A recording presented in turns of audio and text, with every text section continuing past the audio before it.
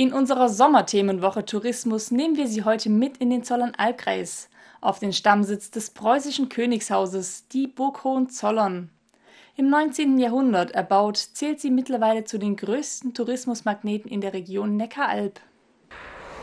Die Burg Hohenzollern. Majestätisch thront sie auf einem Zeugenberg der Schwäbischen Alb hoch über Hechingen. Mit 300.000 Besuchern pro Jahr gehört sie zu den Tourismusmagneten der Region. Seit April 2009 kümmert sich die promovierte Archäologin Anja Hoppe darum, dass die Burg für die Nachwelt erhalten wird. Und wir denken nicht in fünf Jahresschritten, sondern tatsächlich in Generationen und womöglich auch in mehreren tausend Jahren.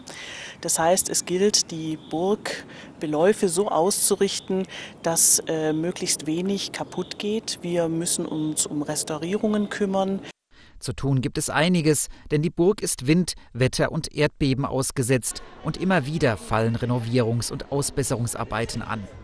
Dabei erhält die Burg kein Geld vom Staat, sie finanziert sich ausschließlich durch Eintrittsgelder.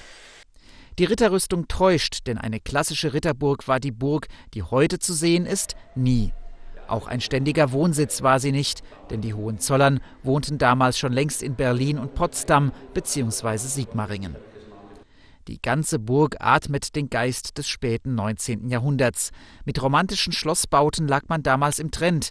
Die Schlösser Neuschwanstein und Liechtenstein entstanden zur gleichen Zeit.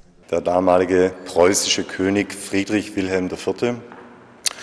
war ein Romantiker, ein Träumer.